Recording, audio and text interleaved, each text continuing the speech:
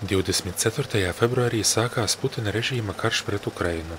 Tā rezultātā nešķirojot tiek bombardētas pilsētas, ciemi, bērnu dārzi, dzemdību nami, infrastruktūras un militārie objekti. Bojāgājušo civiliedzīvotāju skaits Ukrainā jau mērāms tūkstošos, kaut gan propagandas mašīna pašā agresoru valstī turpina apgalvot, ka dzīvojamos kvartālus neapšauda. Harkivas rajonā Jakovļevkas ciema sešu cilvēku liela ģimene devās bēgļu gaitās un nonāca līdz Latvijai.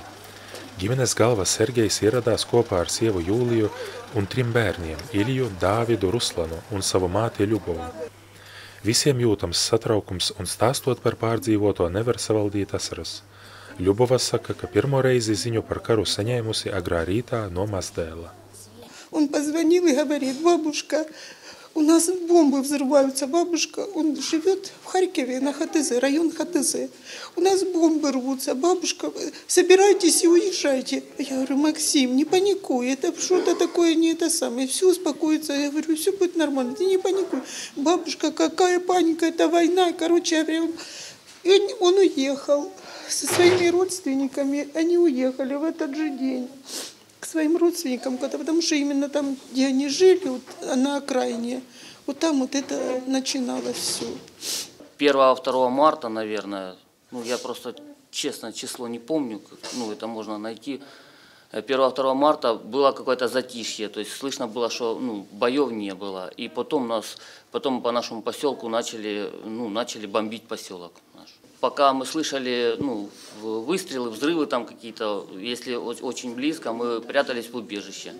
Ну, так продолжалось несколько дней. Вот. Ну, когда уже мы выезжали, то это видно было. Домов были двухэтажные большие дома. И на этом месте просто вот пустое место, развалено и все, ни магазина. Со школы, у нас большая, очень красивая школа. Окна такие большие, все повылетало, страшно, дверь повыносила и в садике там, и дома убила одного парня. Потом уже мы узнали, женщину одну убила, четыре человека у нас погибло. Развалили дома. Есть такие дома вообще, что не принадлежат к этому самому. Но мы как-то так в стороне оказались, что наш дом ну, только повыбивала окна, пораскидала шифер там, ну, как это самое, на, на чердаке. Ну, если бы еще, не дай Господь, вот такой удар еще один бы был, то стена бы рухнула, конечно. И вот я даже вот иду два дня назад, иду я с малышом, гуляла тут. И вот какой-то гул такой, даже я не знаю. Вот он идет, идет, он же маленький, что он понимает, да? Вот он остановился и смотрит вот так.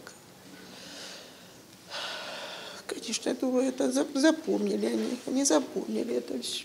Вы знаете, я за помощь хочу сказать очень большое спасибо всем людям, понимаете. Пришли сразу с Думы к нам, вот это, как ее зовут, Рута, да? Угу. Рута, какой депутат пришел. Они нам помогли, квартиру нам там выделили, где мы можем, ну, ну где, мы ремонт, где мы можем место... находиться. А сейчас мы вот это здесь живем в этой школе, вот сказали, что можно нам быть сколько, сколько это самое. Нас очень хорошо приняли. Все люди нам сколько всего принесли детям. Я думаю, что все наладится, и мы будем спокойно, пока жить спокойно. Пока...